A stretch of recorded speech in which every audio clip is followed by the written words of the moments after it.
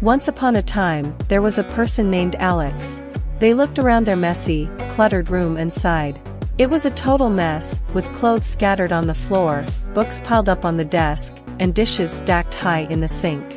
Alex knew they had to do something about it, but the task seemed overwhelming. They thought about all the other things they could be doing instead, like watching TV or going out with friends. Cleaning was definitely not at the top of their to-do list. But then, something clicked in Alex's mind. They remembered how amazing it felt to have a clean and organized space. The sense of accomplishment and peace it brought was unparalleled.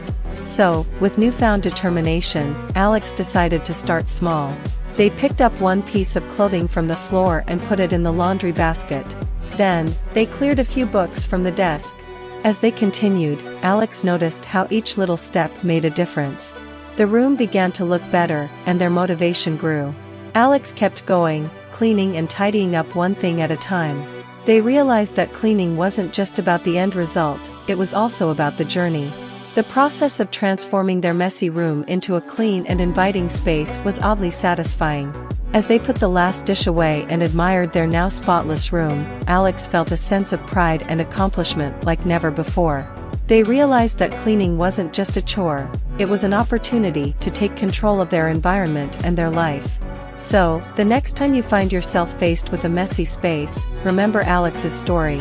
Start small, take one step at a time, and enjoy the journey of transformation. You'll be amazed at how it can change not only your surroundings but also your mindset.